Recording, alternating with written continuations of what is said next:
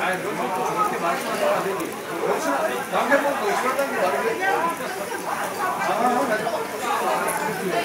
그렇지. 많이 볼게. 남편분도 그렇게. 뭐야? 둘이 먹는 게?